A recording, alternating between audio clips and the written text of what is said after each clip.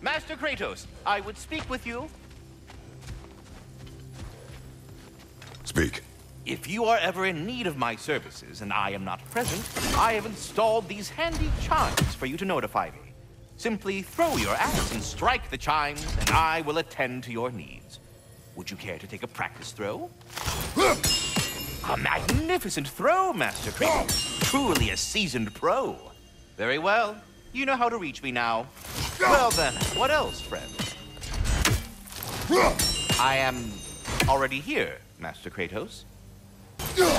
Perhaps there was some confusion. This is for calling me out here, not for when I am here. Do you just like hearing the sound of the chimes? I suppose they do sound very pretty. Master Kratos, this feels very uncharacteristic of you, but if you enjoy the pretty chimes that much, I will allow you to indulge. Yes, you've done it. Well thrown. Ah, the sound of the chimes is not unpainful at this distance, so perhaps you could not? Already here, as it were.